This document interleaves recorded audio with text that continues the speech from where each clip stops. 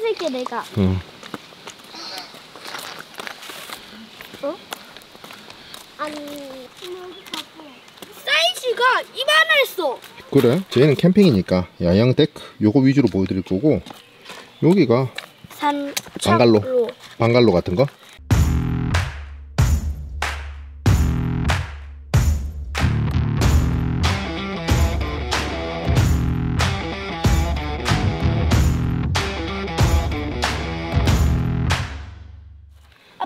저거 위주로 보여드릴게요. 있으니까 우리 어디야? 우리 지금 우리 지금 여기다 이거 어? 우리 지금 여기다 어 쓰레기 분리 저거 쓰레기 분리.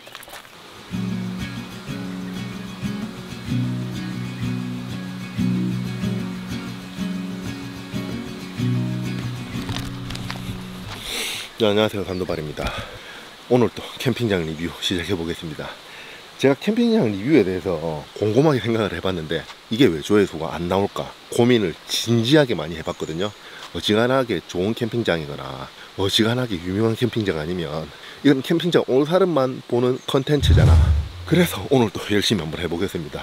여기 상당히 괜찮거든요. 이 캠핑장은 제가 처음에 유튜브 하기 전에 캠디님 때 한번 왔던 캠핑장인데 거의 한 6년 만에 다시 찾아온 캠핑장입니다. 위치는 남해 편백 휴양림이고요. 여기는 아무래도 금액이 진짜 싸요. 1박에 2만원이 안 넘었어요. 그래서 여기는 숲이라 가지고 그늘이 진짜 잘 돼 있습니다. 캠핑장 사이트가 그렇게 많지도 않고 몇 개밖에 없어요. 굵고 짧게 끝내면 될 것 같아요. 일단 제가 묵었던 사이트 여기 지금 101번입니다. 저 안에가 102번. 그리고 여기가 화장실. 예전에 썼었던 화장실이 어디냐면요. 보시면 저기 화장실 보이시죠? 저게 화장실인데 몇 년 만에 다시 방문하니까 화장실이 리뉴얼이 돼 있어요. 상당히 깨끗해요. 한번 들어가 보시죠.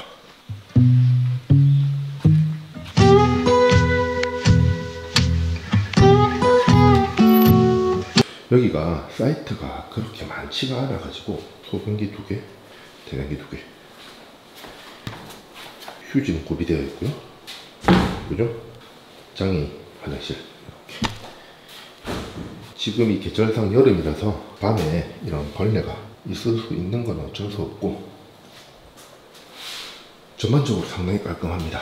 리뉴얼이 언제 되는지는 모르겠는데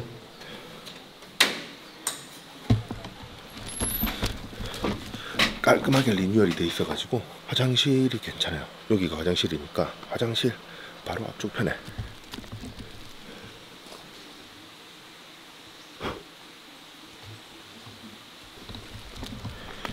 (101번부터) (104번까지) 사이트가.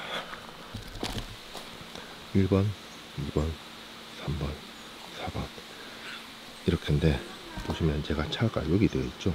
101번 사이트 같은 경우에는 짐 옮기기가 좀 편합니다 가까워서 그래서 이거 지도를 보시면 아시겠지만 여기 도로카 옆에 있는 사이트들이 짐 옮기기가 좀 편하고 안쪽에 있는 거는 아무래도 걸어서 옮기셔야겠죠. 근데 하나 말씀드리고 싶은 게 걸어서 옮길 때 밑에가 흙바닥도 아닌 돌바닥입니다. 그러다 보니까 이거 발목 주의하셔야겠죠. 접지를 넣는 경우가 간혹 있어. 지금 보시면 1번이랑 4번 같은 경우에는 짐 옮기기가 상당히 편할 겁니다. 어, 차 보시면 차들 옆으로 이렇게 대져 있거든요. 저쪽에는 이용하시는 분들이 있어서 지금부터는 보이스를 좀 낮출게요.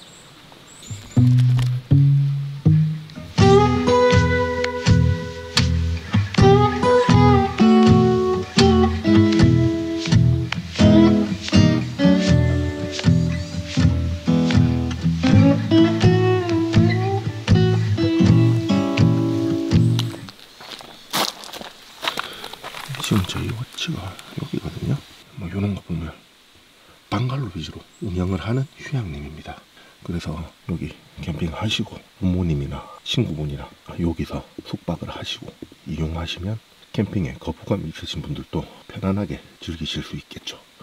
여기도 지금 예전 기억하고 다른 게 건물이 전부 리뉴얼돼 있어요. 되게 깨끗한 건물. 지은 지 얼마 안 된 것 같아요. 화장실하고 같이 한 것 같아요.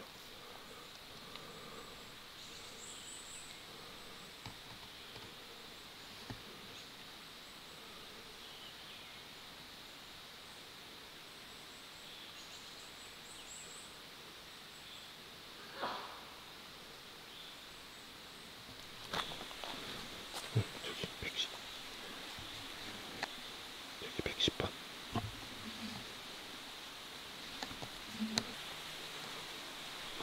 여기가 111번.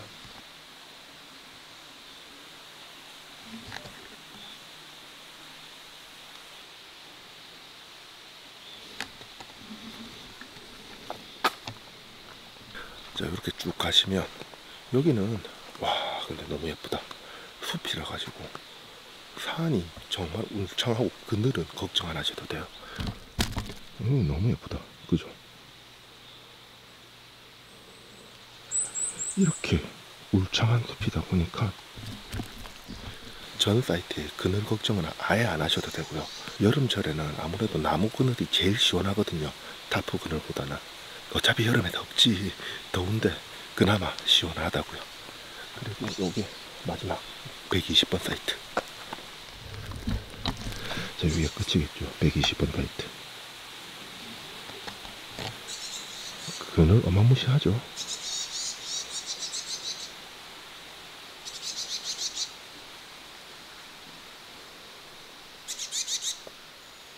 자 120번 사이트 옆쪽으로 취사장입니다. 요 끄트마리 사이트는 취사장 옆에 붙어 있어가지고 좀 시끄러울 겁니다.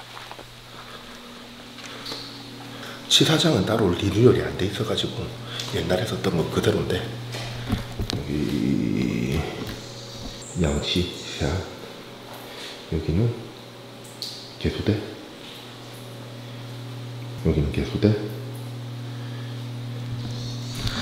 자, 눈치 빠르신 분들은 아시겠지만 음식물 쓰레기 버리는 데가 없어요. 음식물 쓰레기는 입구에서 쓰레기 봉투랑 음식물 쓰레기를 팔거든요. 그거를 사가지고 음식물 쓰레기를 처리하시면 됩니다. 자, 마지막으로 샤워장.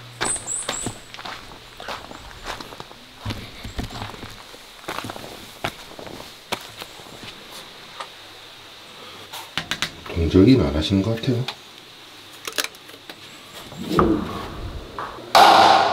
자, 이렇게 샤워장이고요.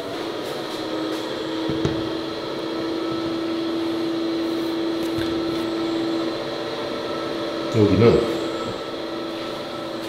샤워장이 카드기로 쓰시는 겁니다. 카드기는 입구에서 입실하실 때 카드기를 구매를 할 수 있거든요. 10분당 1,000원. 그러니까 한 네 가족이서 한 20분만 해도 충분하더라고. 이렇게 샤워장이고요. 온수를 쓰려면 10분당 1,000원이 필요하고요. 온수 없이 나는 냉수로 씻겠다 그러시는 분들은 1,000원도 필요 없습니다. 그냥 그냥 하시면 돼요. 냉수는 공짜입니다. 이렇게 샤워장 보고 다 봤습니다. 이제 캠핑장 볼 거는 없어요. 저희 사이트로 마저 가보시죠.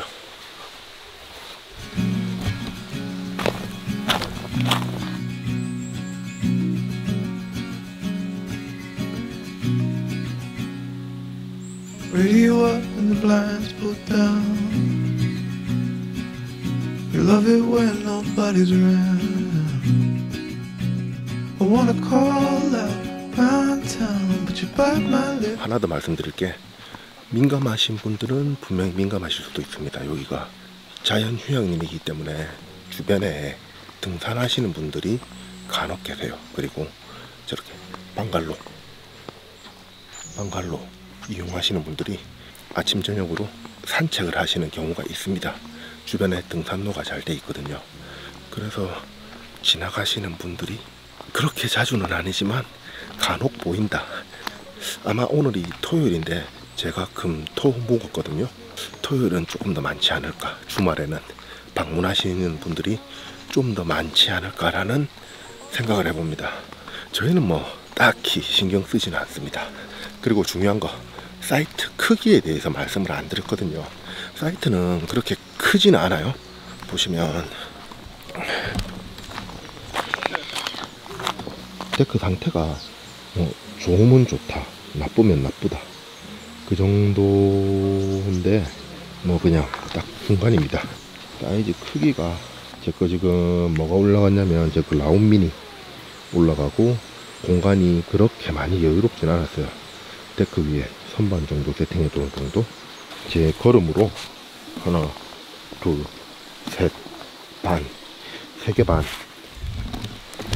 가로 세로 한 3에서 3.5m라고 보시면 될 것 같아요. 사이즈는 그렇게 넉넉하지 않다는 거. 그거를만 알아놓으시면 될 것 같습니다.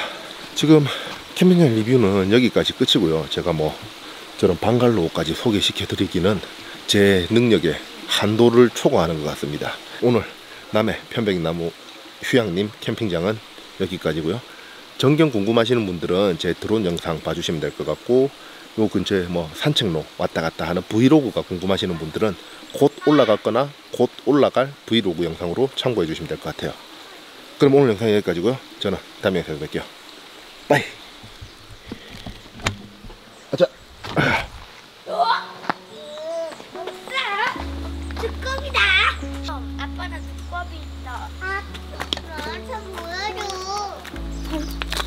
이 캠핑장 어떤 것 같아요?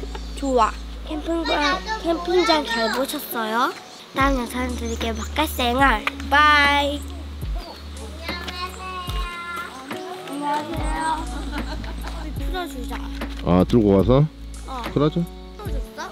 물고기 소율이한테 넣었다잖아.